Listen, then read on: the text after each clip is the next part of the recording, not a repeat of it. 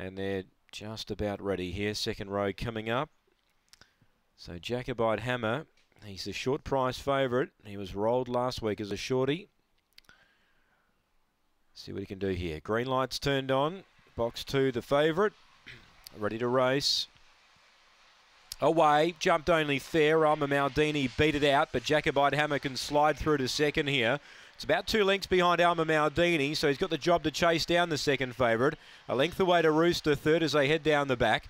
Condi goes around the outside from Giveaway Fury, Bold Harrow, and Whipper's Chance is last. I'm a Maldini by three. Jacobite Hammer with work to do. Two links to Rooster in third. Turning, I'm a Maldini, the one to beat. They're not going to beat her. Trying hard Jacobite to Hammer, but I'm a Maldini wins.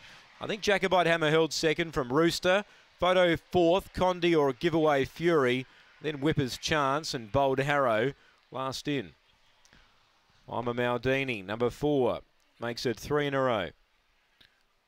So 30.09 the time for the winner. Two second, Jacobite Hammer. Two gets second. 30.09 the run. One third, Rooster. 4-2-1 confirmed. 4-2-1 here. Six got fourth.